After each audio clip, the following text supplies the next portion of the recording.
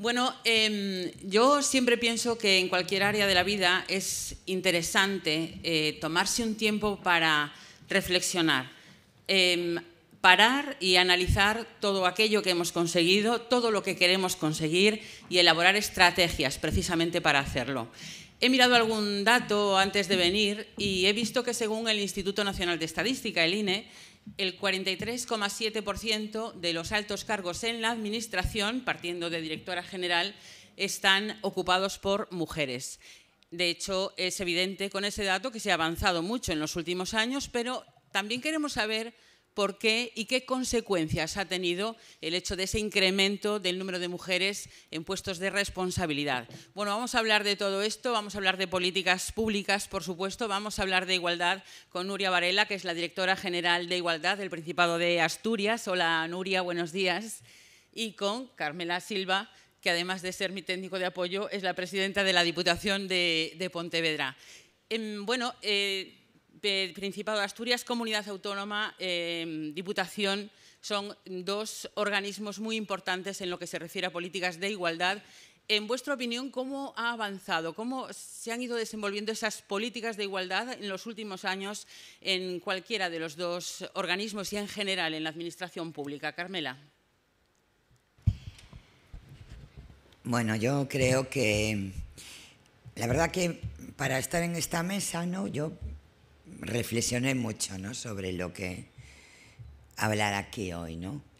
teniendo en cuenta que represento a las diputaciones, ¿no? un organismo intermedio que tienen una fuerte influencia en los ayuntamientos de menos de 20.000 habitantes, que son más del 80% de los ayuntamientos en España. Y por lo tanto, eh, tienen una posición relevante a la hora de hacer transformaciones. ¿Qué ocurre? Y entonces yo pensaba, ¿hago una reflexión más teórica o me centro más en contar cómo, cómo funcionamos los gobiernos liderados por mujeres feministas? Porque no es lo mismo gobiernos liderados por mujeres que gobiernos liderados por mujeres feministas. Yo también tengo claro que si tengo que elegir entre gobiernos liderados por hombres, pocos feministas, y mujeres que no sean feministas, porque todavía no han hecho la reflexión sobre la desigualdad, pues oye, que sea paritario ¿eh? también. Pero es cierto que cuando una administración la gobierna una mujer feminista, las políticas de igualdad se convierten en una prioridad, son un eje central. La política de igualdad es transversal, no se fija exclusivamente en tener un área de igualdad que realice actividades atendiendo a las propias competencias, sino que el cambio es transformador y total y se produce en todas las áreas. Hay una mirada feminista no solamente en las políticas propias, las que se entienden como la agenda, que la agenda es algo feminista, es algo muy amplio, ¿no? sino que cualquier medida del modelo de ciudad, el modelo urbano, la visión medioambiental, eh, la construcción de equipamientos, dotaciones, servicios, garantías de derechos, la dirección política y administrativa paritaria, todo eso forma parte y por lo tanto las transformaciones son muy, muy evidentes y se producen en muy, muy poco tiempo. Y por eso, ¿no? Luego yo iré pasando y contando algunas cosas que hemos hecho, muchas cosas, mucho, que hemos hecho en ocho años eh, liderando un grupo de mujeres feministas, porque no solamente la presidenta es feminista, yo estoy rodeada de feministas, cómo en ocho años esta provincia ha cambiado tanto y cómo realmente no solamente la acción política, la gestión política, la gestión administrativa es feminista y transformadora, sino como esta provincia es más feminista hoy que hace ocho años y probablemente, como esta provincia, sea la provincia más feminista porque se crean redes con el movimiento feminista en todos sus apartados, universidad, cultura, movimiento reivindicativo propiamente dicho, movimiento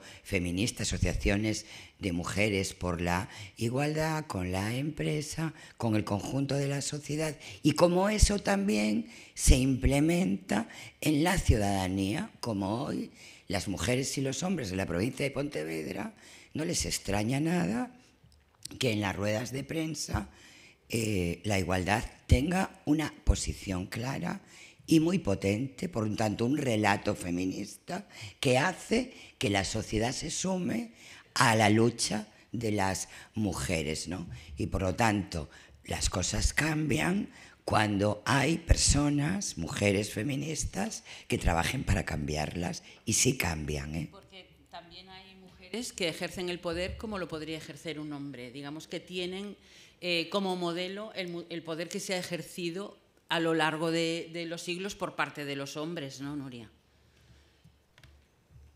Sí, claro, respecto a la primera pregunta, yo estaría 28 horas seguidas contestándote. Me parece no casi, tenemos 28. Por eso me parece, me parece casi inabarcable. Así que solo dos o tres cositas. Una, siguiendo la, la línea de la presidenta, claro. Eh, no es una cuestión de ser hombres o mujeres lo que hace una política feminista, sino que sea el marco político. Y yo creo que esa es una confusión frecuente. La paridad es una exigencia feminista, es, un instrumento que puso encima de la mesa el feminismo para conseguir la democracia, porque si no hay mujeres difícilmente podemos hablar de democracia, ¿no? Si el poder está en manos exclusivamente de los hombres. Pero que haya mujeres no significa que haya políticas feministas. Entonces, yo no quiero romper el optimismo de Inés y muchísimo menos el optimismo de la presidenta, que ya sé que es más que contagioso, pero sí quiero poner un poco de cuidado, ¿no? O sea, quiero poner un poco una línea, una alerta, ¿no? Una luz en qué momento estamos, porque creo que estamos en un momento peligroso, eh, determinante y precisamente por la confusión. O sea, que haya mujeres no significa que haya feminismo. Que haya mujeres en política no significa que haya políticas feministas. es más, eh, que haya mujeres, en, quiero decir, ¿se puede hacer políticas de igualdad sin feminismo? Pues yo creo que no. Y eso también lo estamos viendo. Estamos viendo instituciones eh, de igualdad, los mecanismos de igualdad, sin que haya mujeres feministas al frente, incluso sin que los marcos políticos sean feministas. Mira, este año estaba pensando cuando venía para acá, se cumple el 40 aniversario de la puesta en marcha del Instituto de la Mujer. Y hay por lo menos dos directoras, exdirectoras en la sala, ¿no? Eh, 40 años de el, del inicio, podríamos decir, yo creo que lo podremos decir con certeza, del inicio de las políticas de igualdad en España. Porque hasta entonces eh, realmente no se habían desarrollado políticas de igualdad. El Instituto de las Mujeres es el primer instrumento que de 40 años. Uh -huh. eh, dices, bueno, es antes de ayer, ¿no? Eh, las políticas públicas comparadas con lo que llevamos de, no sé, el Ministerio de Hacienda o, o el de Defensa o el de Exteriores. Es antes de ayer. Efectivamente hemos conseguido muchísimos avances pero también hay algunas cosas en las que nos hemos quedado muy estancadas. Esa, esa arquitectura de igualdad que se inició con la creación del Instituto de las Mujeres luego se ha replicado en todas las comunidades autónomas, con lo cual podemos decir que tenemos una estructura de igualdad, aunque yo digo que tenemos los andamios de la estructura de igualdad y que nos hemos quedado ahí. ¿Por qué? Porque cuando estábamos construyendo esa estructura, una época muy potente desde la creación del instituto, después vinieron los planes, todos los, los cuatro planes de igualdad se replicaban las comunidades, vinieron las grandes leyes que mencionaba Inés, la ley de igualdad y la ley contra la violencia de género fundamentalmente. Bueno, después de esa época de avances llegó toda la crisis del 2008 y llegó todo el discurso de la austeridad. La austeridad dejó en casi nada los organismos de igualdad, en casi nada me refiero a recursos económicos, y eh, también sobre todo en recursos personales, de, de personal, ¿no? Y ahora nos estamos enfrentando a eso. Eh, sí, eh, estamos hablando de alguna manera de la forma de ejercer el poder por parte de, las mujeres. Decía la presidenta Carmela Silva uno de estos días, en la presentación, creo, de este, de este encuentro, que hay que ir hacia la igualdad al margen de sectarismos. ¿no? Y yo me pregunto, vosotras que estáis en puestos, en posiciones de, de poder, de responsabilidad, ¿encontráis eh, la misma, el, mismo apoyo, las mismas ganas de avanzar en todos los ámbitos ideológicos? Digo, al margen de sectarismos. Evidentemente no. Hmm. Está claro que no. Porque, claro, es que la lucha por la igualdad es una lucha revolucionaria.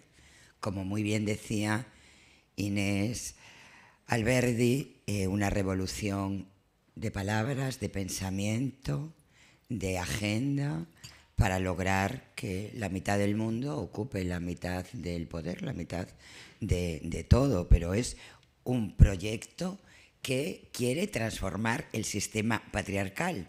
Por lo tanto, quiere transformar el sistema de poder establecido y, desde luego, y lo digo con toda claridad, los partidos conservadores eh, pues no tienen una apuesta clara por la igualdad y yo me remito a los hechos.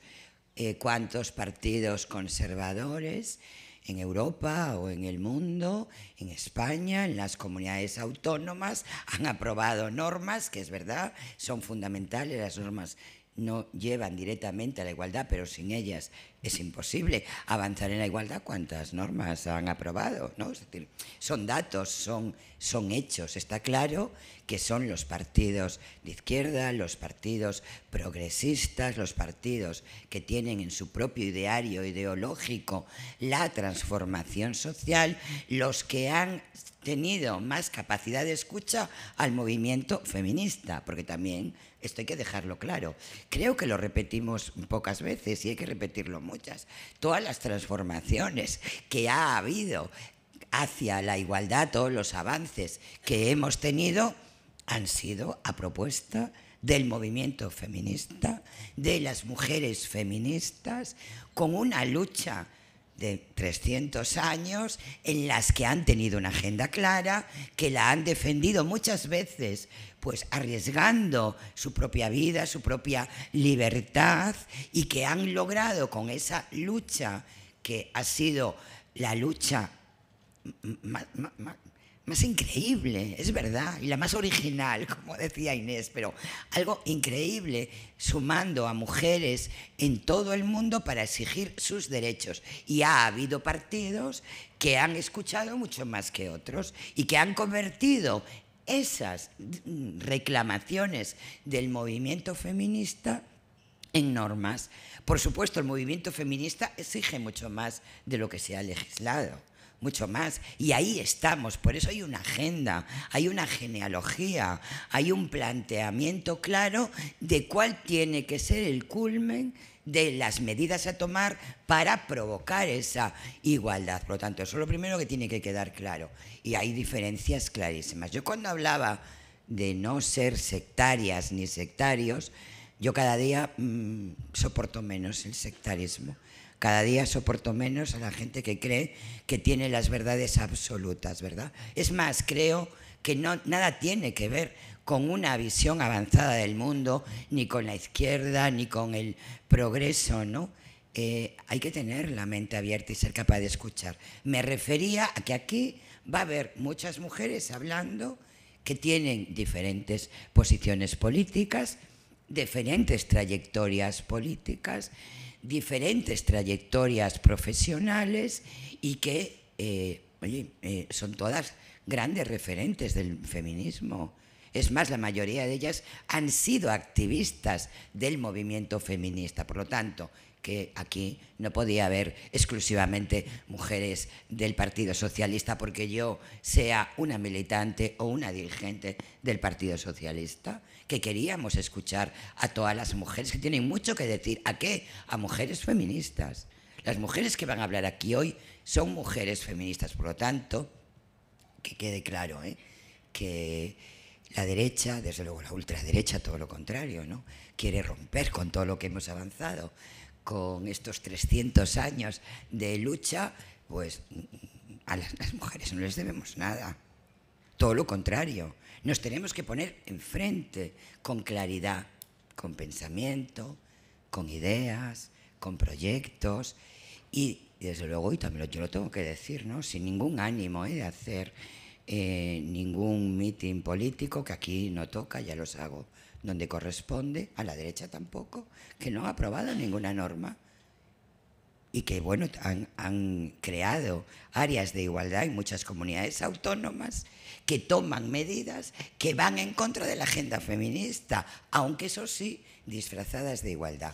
Por lo tanto, que se entienda que el sectarismo es escuchar al movimiento feminista, situado ideológicamente. ¿no? Ahora, en cuestión de partidos políticos, está claro que no todos apoyan la igualdad y que lo tenemos que decir también con claridad.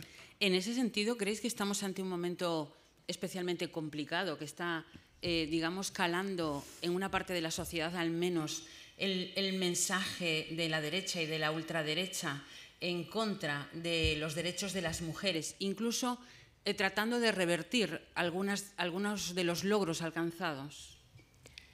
Sí, claro, pero no solo de la derecha y la ultraderecha, también de todos los populismos. Problema ahora mismo es tremendo porque, desde mi punto de vista, por un problema de confusión, de confusión conceptual desde, desde el inicio. O sea, se confunde hasta qué es el feminismo en este momento, ¿no? Parece que el feminismo es todo, es cualquier cosa y todo vale.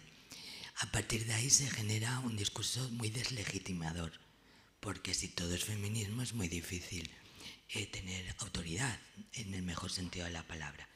Algo que, como bien sabemos, es lo que más se nos ha negado a las mujeres. Mujeres nos cuesta mucho más la autoridad que el poder incluso. Y mira que el poder se nos resiste, ¿no? Eh, pero además estamos en un momento confuso porque pasan por políticas de igualdad cualquier cosa.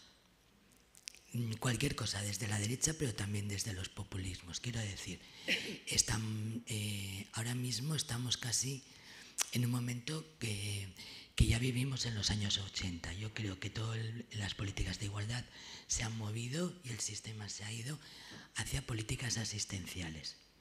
O sea, la inmensa mayoría de las políticas que pasan por políticas de igualdad, sin embargo, son políticas asistenciales. Porque las políticas de igualdad no, son, no es dar ayudas a las mujeres. Las políticas de igualdad son las políticas transformadoras. Son las políticas que quieren acabar con el patriarcado. Son las políticas que quieren, pretenden acabar con la desigualdad. Lo otro son políticas sociales. Si no, no existirían los organismos de igualdad, no los hubiésemos creado hace 40 años porque las políticas sociales ya las teníamos, ¿no? Hemos llegado incluso, un, ejemplo, ¿no? Que se ha escuchado, y ese es un discurso que a mí me preocupa porque se está instaurando mucho. Hemos escuchado, por ejemplo, que subir el salario mínimo interprofesional es una política de igualdad. No. Es una política muy importante y muy seria que tiene una influencia muy positiva en las mujeres. Pero lo que es una política de igualdad es que la mayor parte de las mujeres no cobren el salario mínimo interprofesional. Eso es una política de igualdad. Sacar a que las mujeres no estén en el lugar más eh, bajo ¿no? de, del sistema económico. Y yo creo que ese es el momento complejo en el que estamos, en los que hay demasiados intereses en confundir los discursos y en confundir lo que son las políticas de igualdad y lo que pretenden. Al margen de que también estamos en un momento complicado porque hay una lucha profunda de paradigmas. ¿no? Hay, hay marcos interpretativos muy distintos que están en colisión y, y eso nos lleva pues, eh, a demasiado ruido. Y yo creo que las políticas de igualdad necesitan poco ruido y muchas veces. ¿Y qué podéis hacer vosotras desde las instituciones? Porque eh, sí que yo, eh, analizando un poco los eh, últimos datos estadísticos y de encuestas que se han realizado entre gente joven, realmente hay datos que son muy preocupantes. ¿no? Antes escuchaba a Inés hablando de optimismo, de que las cosas han avanzado, de que tenemos que seguir avanzando y de que estamos en el camino, pero sin embargo, cuando analizas esos estudios demoscópicos, eh, dices, ¿cómo es posible que haya pues un, uno de cada cinco chavales piense que eh, es necesario seguir controlando a su pareja o incluso que ellas lo acepten? Quiero decir que hay un discurso que yo creo que está calando y no sé lo que se puede hacer desde las instituciones para eh, tratar de frenarlo, ¿no? Bueno, en primer lugar, yo creo que hay que ser optimista. O sea, lo tengo claro, pero como una actitud vital que permite el cambio. Claro, es que mm, yo creo que el pesimismo ¿no? nos lleva a ser muy reivindicativas, a quejarnos mucho, a analizar la realidad, a decir qué mal estamos, cuánto nos queda todavía por avanzar, pero no te permite moverte, ¿no? Entonces yo soy optimista en el sentido de que me niego a que no nos sigamos moviendo las mujeres las mujeres feministas. Es en el sentido de que yo soy optimista y luego también porque analizo la realidad a través de las cuatro olas del feminismo, ¿verdad? Y cuánto hemos conseguido, cuánto hemos sido capaces de transformar. Es que hay algún colectivo humano eh, que haya conseguido los avances que conseguimos nosotras, que no teníamos ningún derecho. Por lo tanto, yo soy optimista en el sentido histórico de la evolución de lo que ha logrado el movimiento feminista y como una actitud vital de defensa de aquello que creo que es el proyecto político más justo que nunca el ser humano ha creado, que es el de la igualdad entre mujeres, hombres, hombres y mujeres. Por lo tanto, que centrarlo, ¿no? Es decir, yo soy muy consciente de la realidad, soy muy consciente de todo lo que comentaba Nuria, con lo que, que coincido, ¿no?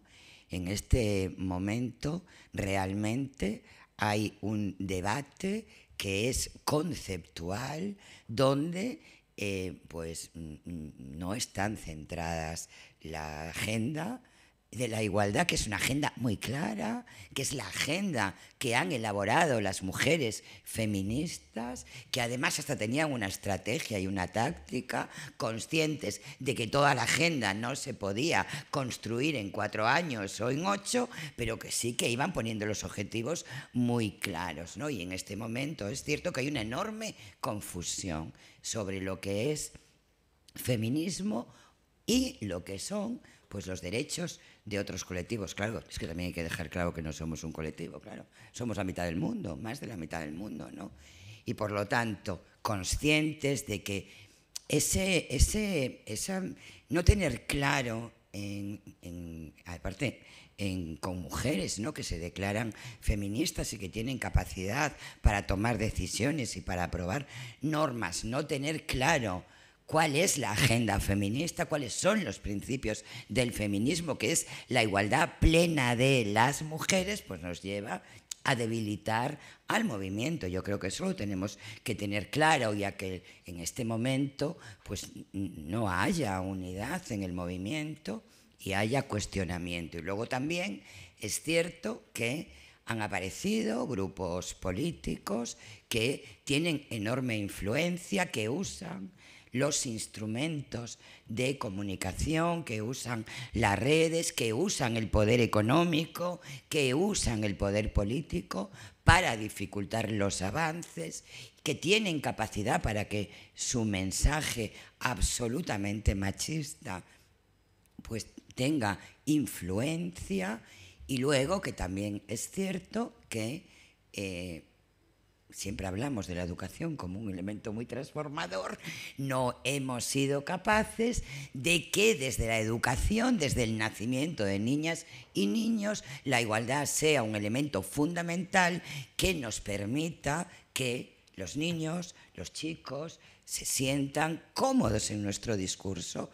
Ha conseguido el poder, el poder con mayúsculas, el poder masculino, el poder patriarcal, ha logrado que eh, una parte de, de los chicos jóvenes se sientan atraídos por ese discurso de la ultraderecha y de la derecha ultra y se sientan atraídos. Por lo tanto, es cierto que el momento es muy complejo, venimos de situaciones de crisis, una crisis sanitaria como la pandemia, dos crisis económicas desde el 2008 hasta ahora mismo y cada vez que hay una crisis económica o cualquier tipo de crisis, el patriarcado actúa para que las mujeres vuelvan a retroceder. Y eso también está ocurriendo. Aprovechan esta situación de crisis, también de crisis de pensamiento, de un nuevo paradigma económico. Y por lo tanto todo eso hace que el patriarcado, que es muy fuerte, y que contraataca a la igualdad, porque claro, es que tienen que dejar la mitad de los privilegios. Y eso se resisten, ¿no? Por lo tanto, todo eso está haciendo que la situación sea complicada y compleja. Pero dicho esto, ¿nos vamos a rendir? De ninguna forma. ¿Por qué? Porque es que tenemos, tenemos el proyecto del feminismo, de la igualdad, que es el camino que tenemos que, seguir y por lo tanto yo lo siento mucho, me siento más fuerte que nunca y, creo que nos tenemos que sentir más fuertes y que tenemos que alzar la voz y volver a poner la agenda feminista, la agenda de la igualdad en el centro de la acción política. Y eso significa pelearnos con la palabra y intentando tener poder para transformar, incluso también contra nuestros propios partidos. ¿eh? También. Sí, eh, a mí me llamaba la atención lo que decía Nuria hace un momento cuando decía que, en la crisis de 2008 eh, lo primero que se hizo fue de traer recursos y personal de todos aquellos organismos que estaban en la batalla por la igualdad. ¿no? Esto quiere decir que todavía, evidentemente, queda muchísimo por hacer, porque realmente el, primer punto en el que pones el foco cuando hay un problema de crisis económica o de recursos es, eh, pues eso, las instituciones, los organismos que están en esa batalla. O sea, es una especie de asignatura pendiente convencer también al conjunto de la sociedad, también a los hombres, de que, de que vale la pena seguir, seguir peleando por ello, ¿no? Sí, no lo diría de otra manera, es una, es una asignatura pendiente. De todas formas, antes voy a matizar, voy a declararme optimista preocupada. Vale. Entonces, desde ese optimismo y con preocupación, sí, sin duda, eh, yo, creo, yo, yo creo que es, es un discurso que, que, cuesta, ¿no? El trasladar no solo, no solo la importancia. O sea, si realmente, como dice Carmela, todos los responsables de todos los partidos entendieran lo que se puede ahorrar invirtiendo en igualdad. O sea, yo eh, no, me, no, me, va a dar tiempo en esta legislatura, pero porque ha sido realmente dramática con la pandemia y todo lo que ha habido que hacer. Pero me hubiese gustado muchísimo hacer un estudio de cuánto dinero ahorraría la inversión en políticas de igualdad respecto a recursos sociales, por ejemplo, e incluso respecto a salud y especialmente a salud mental. O sea, si realmente hiciésemos una política preventiva de violencia de género, ¿cuántos recursos ahorraríamos en salud en general, en salud mental en particular? ¿Cuántos recursos sociales? Porque, insisto, o sea, lo que necesitan una mujer que tiene una situación, que está pasando por, una situación de violencia, mm, a lo mejor en algunos casos es una vivienda o es, un, o es algo de de ayuda económica puntual, pero realmente lo que necesita es tomar de nuevo las riendas de su vida, que las riendas de su vida estén en su mano, no estar el resto de su vida en los recursos sociales. ¿no? Entonces, sí, falta ese, falta ese respeto a las políticas, al feminismo en particular y a las políticas de igualdad. Eh, por lo tanto, ¿no? O feminismo como el marco político en el que desarrollamos las políticas de igualdad. Falta ese respeto y esa autoridad. Y todavía hay, de alguna manera, por parte de las mujeres que ejercen el poder, em, esa intención o esa sensación de que siempre tiene que estar con un pie fuera. Parece que es mucho más fácil que una mujer abandone un cargo, que lo es, ¿verdad? Que, lo haga un hombre. Quiero decir que como que se está cuestionando constantemente a sí misma hasta que llega un momento en el que y ahí los medios de comunicación tenéis mucha culpa. Bueno, claro, es que... Eh, yo creo que también en eso vamos avanzando. Eh, pero es así, ¿no? Que realmente que, que las mujeres eh, siempre tienen esa, esa sensación de que necesitan estar casi yéndose de los cargos, ¿no? Bueno, esto, es que claro, también lo comentaba Inés, ¿verdad? Es que eh, las decisiones las toman ellos. No, solamente en los jurados, ¿no? De cualquier tipo, ¿no? para la administración pública o para cualquier premio o en, o en, el sector privado mayoritariamente son hombres y claro, los ven a ellos, es que no nos ven a nosotras. En la política también, es que la gran, los grandes dirigentes, los que toman las decisiones, los que lideran los grupos políticos, mayoritariamente son hombres y por lo tanto ellos sí que tienen redes formales e informales creadas ¿eh? y sí que se cuidan. Es verdad que los cuidados de infancia, mayores, personas con discapacidad e incluso del planeta lo llevamos nosotras sobre nuestros hombros, pero ellos se cuidan entre ellos, porque, ellos tienen una red formada de poder que es centenaria y por lo tanto cuando piensan en quién ha de liderar, en a quién han de nombrar, pues también piensan en ellos, en los otros, en sus iguales, en los hombres, porque no están también en los lugares de toma de decisión las mujeres para promover. Y luego, es cierto que el, el, ejercicio del poder, que es tan transformador y tenemos que estar ahí, ¿eh? Hay que estar ahí. Es fundamental que estemos en el ejercicio del poder con liderazgo, con presupuesto, con capacidad para usar el dinero público hacia las políticas de igualdad. Yo lo tengo clarísimo. Este año nosotros subimos el 18% del área de igualdad, tres veces más que el resto del presupuesto. Y cada año, es que claro, sin recursos no transformamos nada. ¿eh? O sea que también hay que exigirlo.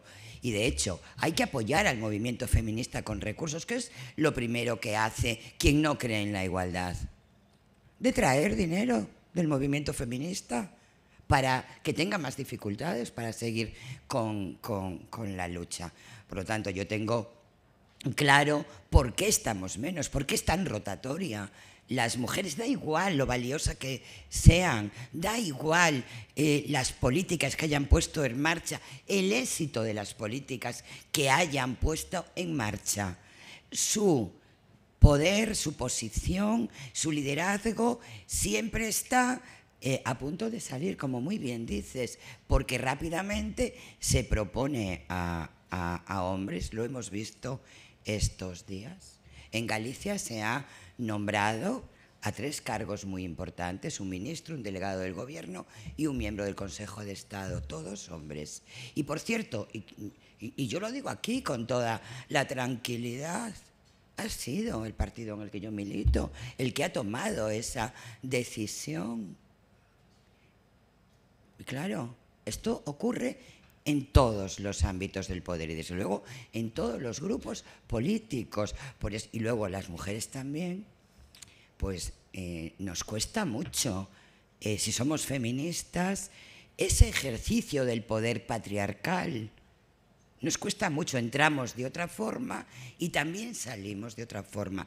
Tenemos otro concepto de la entrada y de la salida y por eso incluso algunas de nosotras decimos, hasta aquí hemos llegado, me voy, me voy. Yo este ejercicio del poder patriarcal pues me afecta, me afecta a mi vida, me afecta a mí, afecta a mi entorno, afecta a mi forma de entender el mundo. Claro, todo eso es tremendo y hace que haya rotación, que abandonemos o que seamos cuestionadas o cambiadas con una naturalidad. Por eso las mujeres hemos de exigir también desde la sociedad que queremos a mujeres y que quien no haga el cambio de modelo, de que podamos estar, que podamos eh, ejercer la política con tiempo, porque aparte las transformaciones precisan de tiempo. No se puede cambiar nada en cuatro años, ¿eh? O sea, imposible. Pues las mujeres también hemos de pensar en eso a la hora de votar y organizarnos. Sabéis que eso quiere decir que van a decir, van a cuestionarnos también diciendo que no somos capaces de aguantar la presión.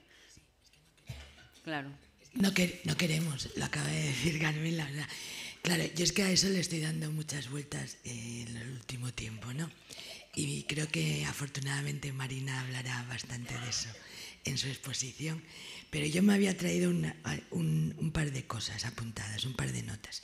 Mirad, si damos por bueno que empieza la lucha mm, por el derecho al voto, no el sufragismo, en 1848, con la declaración de Seneca Falls, cuando aquel grupo de mujeres antiesclavistas, quiero subrayar, ¿no? ahora que al feminismo se nos acusa de todo, cuando aquel grupo de mujeres antiesclavistas se reúnen en aquella pequeña capilla metodista en el estado de Nueva York y acuerdan la declaración de Seneca Falls, la declaración de sentimientos. Desde ese momento hasta la primera mujer jefa de gobierno pasaron 112 años. 112 años. Y la primera, bueno, pronunciaré fatal su apellido, pero fue Sirima Bandaranaik, que, que ocurrió en Ceilán, porque murió su marido. ¿eh? No fue la primera elegida. Sabéis que ha habido una serie de mujeres que han llegado a dirigir los países indiferentemente de su sexo. Son lo que llamamos, la, bueno, son las oligarquías, son los poderes familiares, ¿no? Que les toca a, una mujer porque es hija de o esposa de, como le podría tocar a un hombre. Vale, desde aquel Seneca Falls hasta la primera mujer elegida fueron 132 años.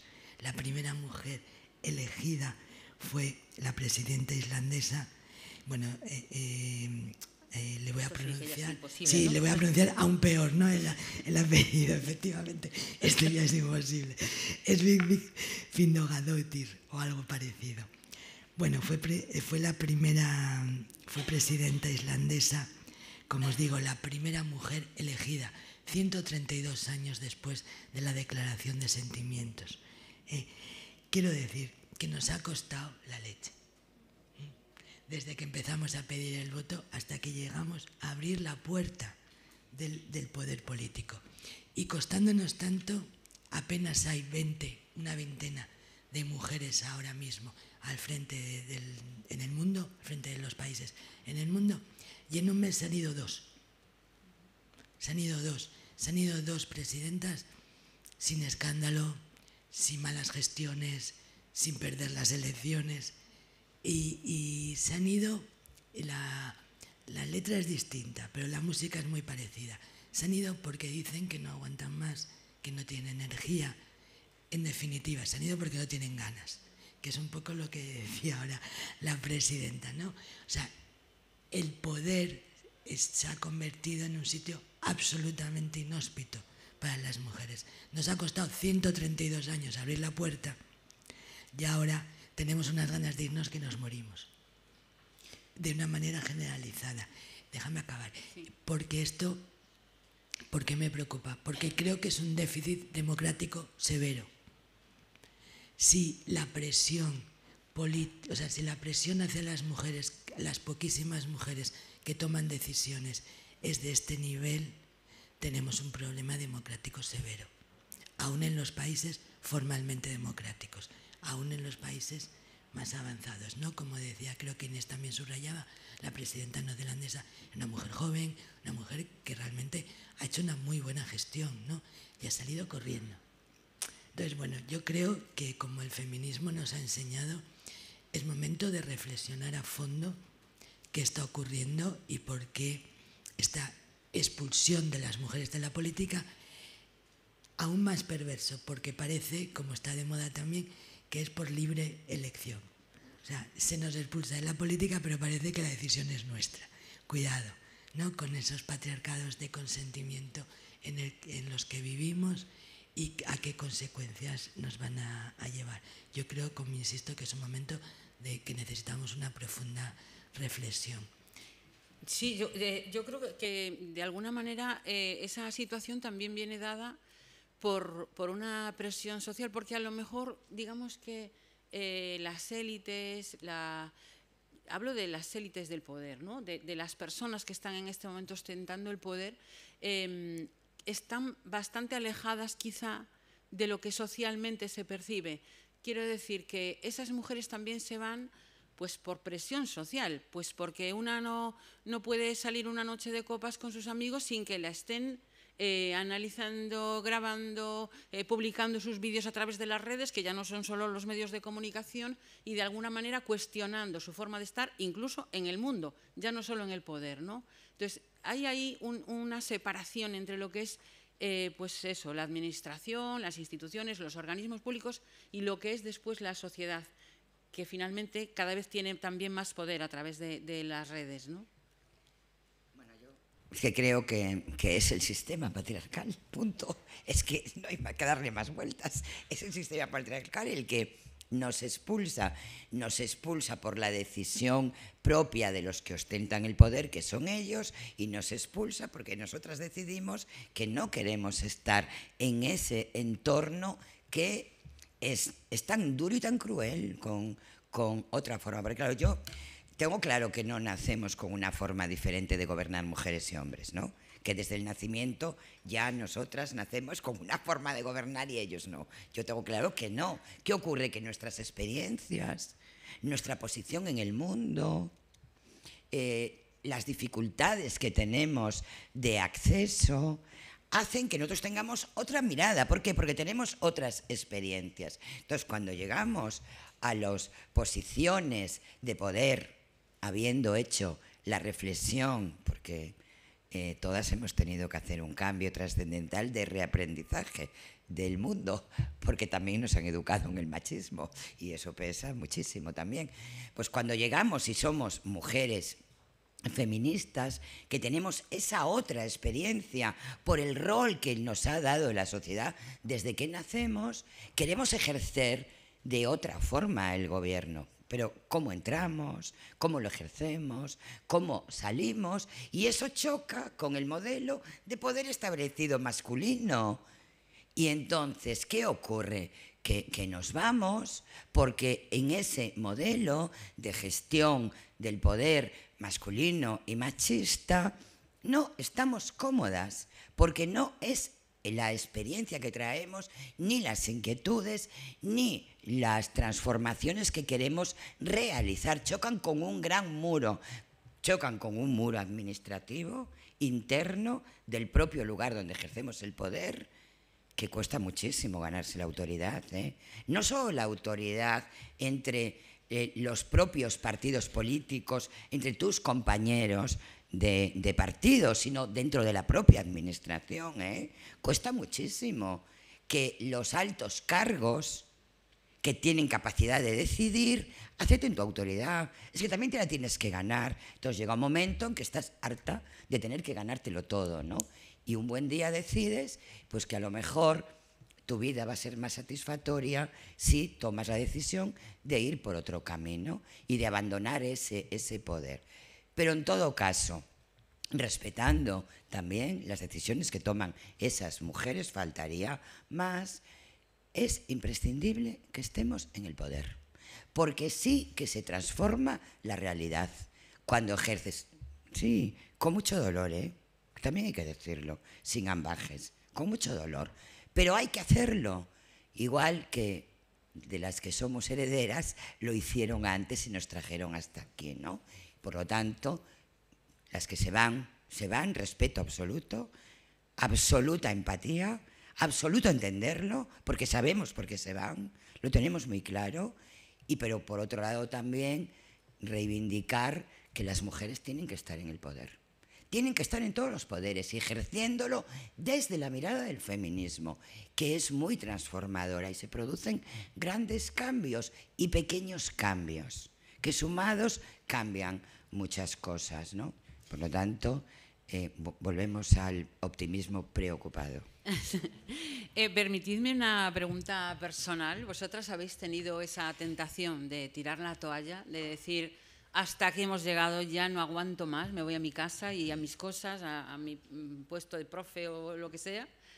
Yo sí, yo por eso Carmela es tan dura, ahí está insistiendo. yo estaba en una legislatura y, y, con una basta, sí, sí, sí. Porque, bueno... O sea que ya vas a tirar la toalla. Sí, sí, no, yo no lo llamo tirar la toalla. Voy a seguir eh, trabajando por el feminismo y por las mujeres desde el lugar donde siempre he estado o donde he estado los últimos años.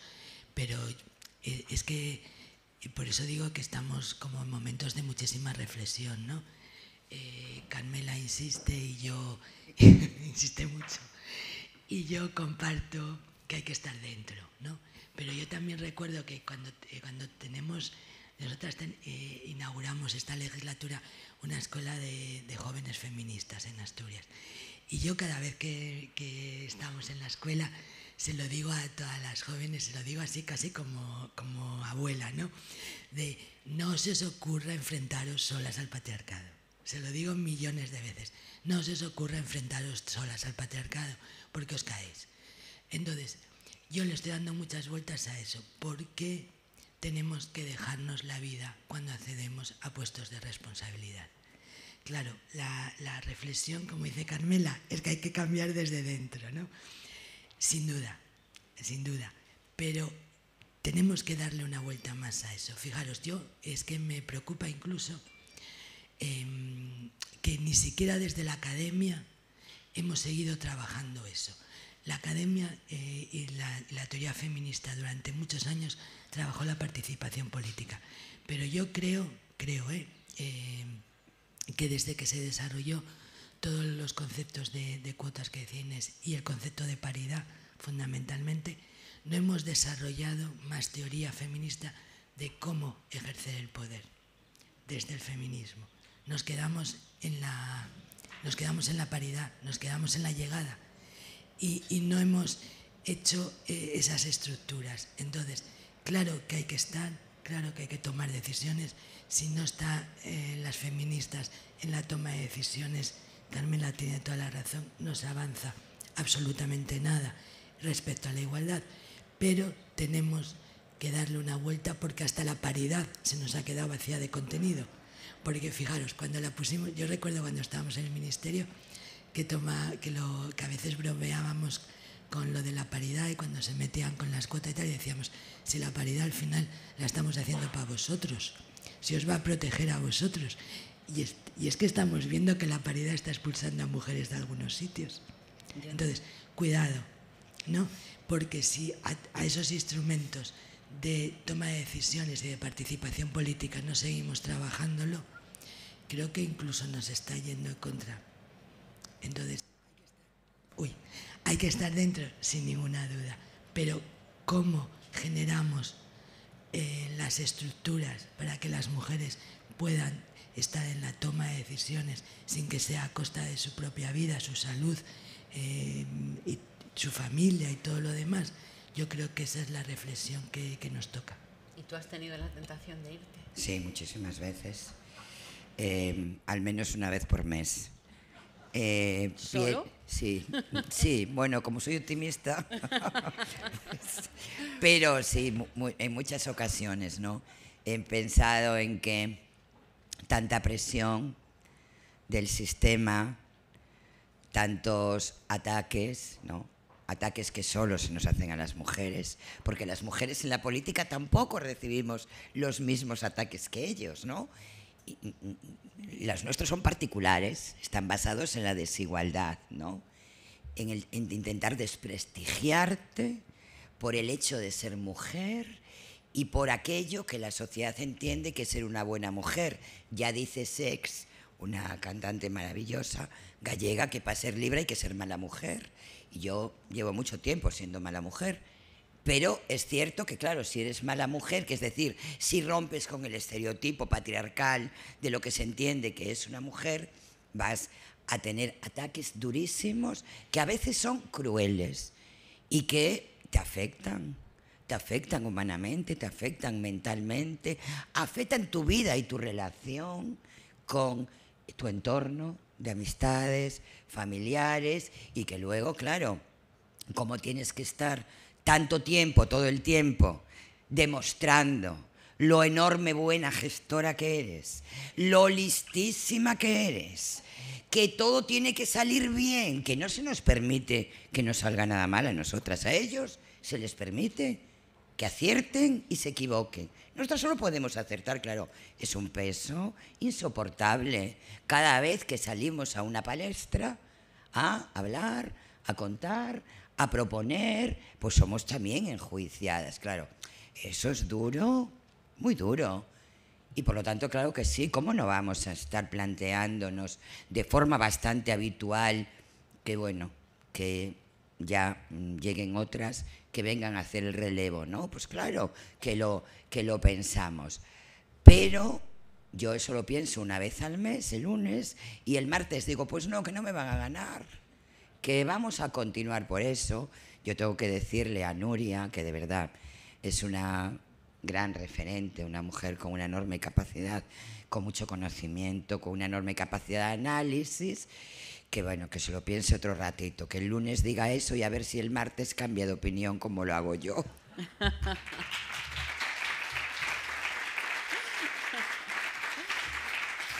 Bueno, que estamos con la directora general de Igualdad del Gobierno del Principado de Asturias y con la presidenta de la Diputación de Pontevedra, dos mujeres que tienen poder. Hemos hablado de cuáles son eh, las consecuencias de ejercer el poder por parte de las mujeres, pero me gustaría también hablar de lo que se hace desde los organismos públicos, de lo que hacéis y un poco mirando hacia adelante, ¿no? ¿Qué estrategias hay que seguir a partir de ahora para seguir avanzando, para no bajar la guardia, porque parece que siempre está todo conseguido y resulta que cada dos por tres vemos síntomas de que hay quien quiere eh, recortar derechos o revertir las situaciones? ¿Qué se hace? ¿Qué estáis haciendo vosotras? ¿Y, cómo os lo planteáis de cara pues eso, a los próximos años eh, para poder seguir avanzando en las políticas de igualdad? Bueno, antes de empezar, darle las gracias. Y que te lo vas a pensar, ¿no? No, no, no. Lo seguiremos intentando estos dos días. No, no, pero, pero bueno, eh, es obvio que, que, la presidenta es, es la excepción, es la excepción. O sea, se lo decía cuando llegué anoche. Digo, todo este tiempo que estoy dándole vueltas a esa salida de las mujeres, me, estaba todo el rato acordando de ella, porque es justo el ejemplo de perseverancia, de fuerza, es verdad, de apoyo, ¿no? De, mm, pues probablemente de lo que necesitaríamos, o sea, también yo me acuerdo de ella a la hora de pensar en las soluciones. Pues ¿qué necesitamos? Una profundísima y seria red de apoyo, de ayuda, de tal, y eso es la presidenta, así que no me lo voy a pensar, pero por ahí pasa, por ahí pasa la, la solución, sin duda. ¿Qué estamos haciendo? Bueno, yo os lo cuento rápidamente. Lo que hemos hecho en Asturias esta legislatura, con todo lo que la interrupción de la pandemia y todas las dificultades que hemos tenido, ha sido básicamente dos líneas de trabajo. Luego alrededor de ella, de ellas otras pocas, pero hemos empezado a afrontar la violencia de género eh, desde eh, enfrentando otras formas de violencia. ¿no? En Asturias había un trabajo muy sólido eh, frente a la violencia de género en contextos de pareja, con toda la red de casas de acogida, con la Casa Malva como referente y un poco vanguardia y pionera de lo que se podía hacer en ese tipo de políticas.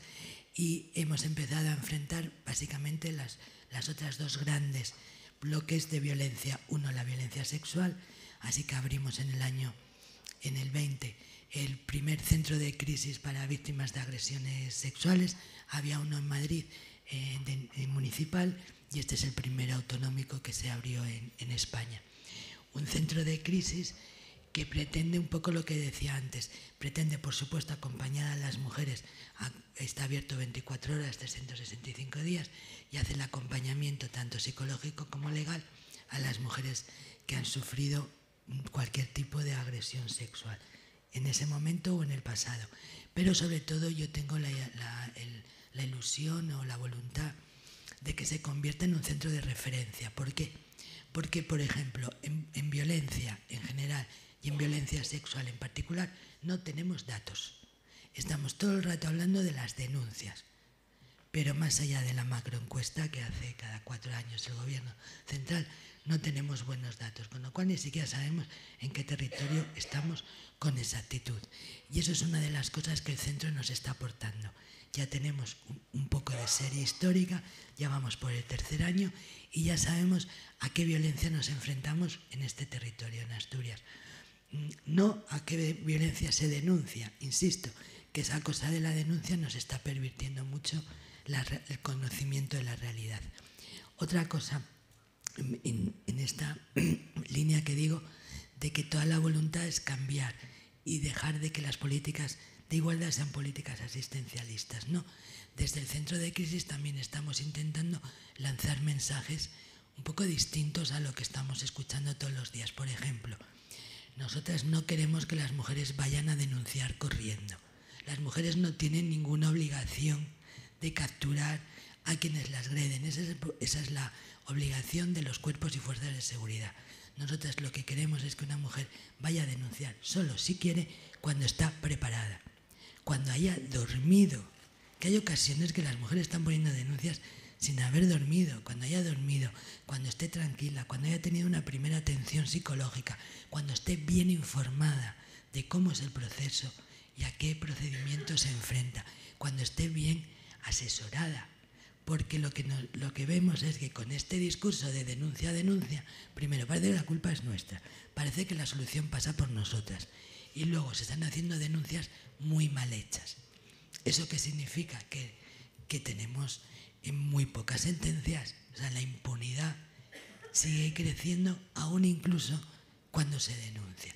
Bueno, entonces, el centro de crisis eh, está siendo, primero, atención pública a, la violencia sexual y luego es el lugar que queremos de referencia un poco de cambio de paradigma frente al trabajo a violencia. Y luego acabamos de, presentar la semana pasada la otra pata, que es la estrategia abolicionista frente a la prostitución y la trata de, mujeres. Que es, eh, Rosa hablaba en la inauguración de lo simbólico, simbólicamente es determinante. O, trabajamos en la abolición de la prostitución y la trata de seres humanos con fines de explotación sexual, o seguiremos con ese imaginario de que es posible la compra y el alquiler de mujeres. Entonces, bueno, esas serían las tres grandes líneas frente a violencia. Y luego el otro pilar que hemos abierto ha sido eh, la lucha frente a la desigualdad económica. Eh, Asturias, bueno, por tradición, por industria, minería, siderurgia, todas las actividades tiene una brecha salarial importante. Entonces, lo que hemos conseguido ha sido, lo que hemos hecho ha sido abrir por primera vez en la historia de la, del diálogo social, 32 años de diálogo social en Asturias, hemos abierto una mesa específica de igualdad.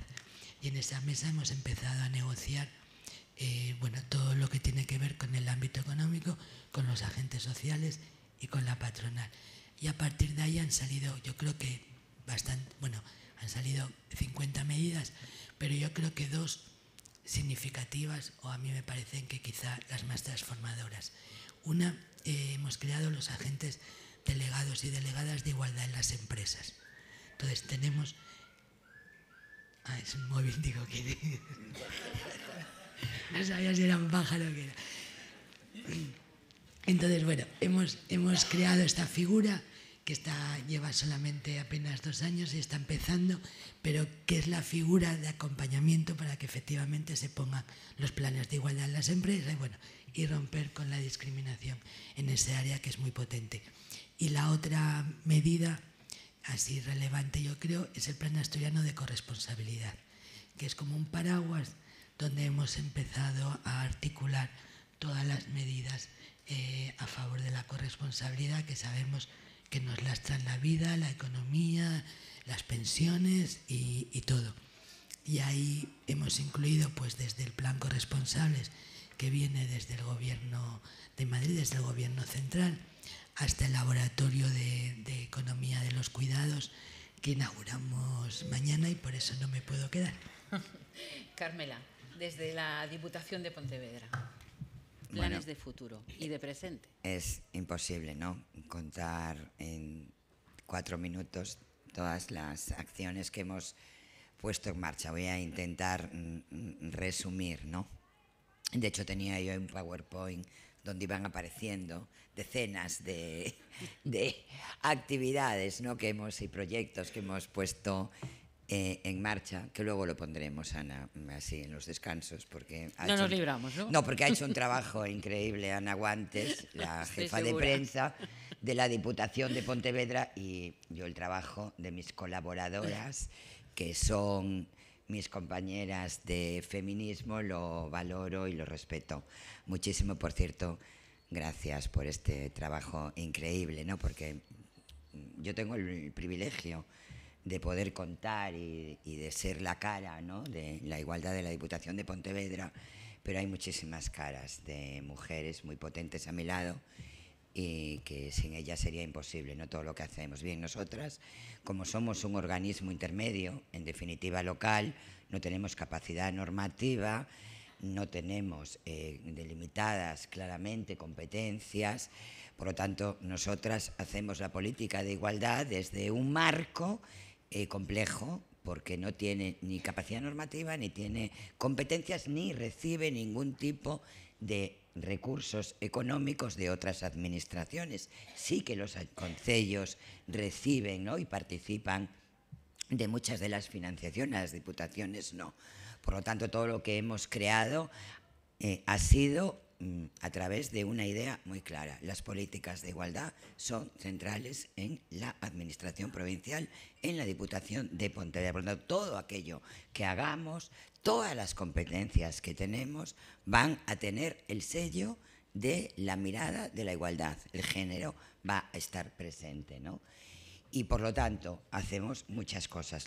yo creo que una importante es haber creado, bueno, haber aprobado eh, un plan de igualdad, dos, de verdad, no, no de mentira, de verdad, no, no uno que se aprueba y que dices, tengo dos planes de igualdad, qué bien, sino que se hace seguimiento, se evalúan los datos, se toman decisiones si lo que el plan de igualdad proponía no se está consiguiendo. Luego, eh, favorecer que las mujeres eh, funcionarias y técnicas sean las jefas de áreas y de servicio, porque estaba absolutamente desequilibrado, hay que equilibrarlo. Por otra parte, también que tanto en todo lo que son las contrataciones de todas las eh, obras o cualquier tipo de, contrato ¿no? que hagamos como administración pública, en los pliegos la igualdad está presente, desde luego. Luego también eh, que eh, crear redes con las mujeres. Nosotros tenemos una red importantísima creada con la Universidad de Vigo y con la Unidad de Santiago, Hemos creado una cátedra de feminismo 4.0 con la Universidad de Vigo. Trabajamos con la Universidad de Santiago en la cátedra iberoamericana, creando redes también de las mujeres de la provincia de Pontevedra, con las mujeres del exterior, sobre todo con las mujeres de América, creando y, con muchísimos proyectos. Con la universidad tenemos muchísimos proyectos eh, de transformación de la igualdad como un elemento de trabajo prioritario, creando redes con las mujeres de la cultura. Tenemos muchísimos proyectos, somos muy conscientes que la cultura tiene un enorme poder transformador y que las mujeres han de ocupar espacios de liderazgo, espacios de poder, espacios de visibilidad, llevándolas al conjunto de los 61 ayuntamientos de la provincia creando muchísimos proyectos porque somos conscientes por una parte de que las mujeres cuando hacemos cultura también tenemos otro relato, un relato de la igualdad que ha de llegar a través del teatro, a través del cine, a través de la literatura, a través de todas las artes, ¿no? Creando redes con las mujeres de la empresa, con las asociaciones de empresarias, que tenemos la suerte en la provincia de Pontevedra, que tenemos una asociación de empresarias feministas, que eso es una suerte, es una suerte. Y por lo tanto también trabajando muchas con ellas, trabajando con los sectores productivos, donde las mujeres son mayoría y sin embargo no tienen el liderazgo ni la dirección sobre todo en el sector primario, cooperativas y cofradías, donde la mujer son mayoría, pero sin embargo dirigen ellos, es decir, de forma aplastante, trabajando mucho con ellas para dar ese salto cualitativo para que ellas sean dirigentes y también trabajando mucho en los sectores productivos y económicos donde las mujeres estamos infrarrepresentadas, trabajando con muchos sectores de la sociedad para intentar también hacer esa transformación y que ahí haya mujeres no solamente que haya mujeres, sino que haya mujeres dirigentes. Eh, desde luego en el mundo del deporte, veo aquí a una de mis futbolistas mujeres preferida, feminista, fue aquella mujer, ¿recordáis? que se le hizo un homenaje a Maradona, no se puso de pie, se sentó y dio la espalda, porque era un machista. Y ella dijo yo, lo puedo admirar mucho como futbolista, era un gran futbolista, pero era un machista, por lo tanto yo no le puedo hacer pleitesía hasta hoy aquí. Es una grande, trabajamos mucho con el deporte.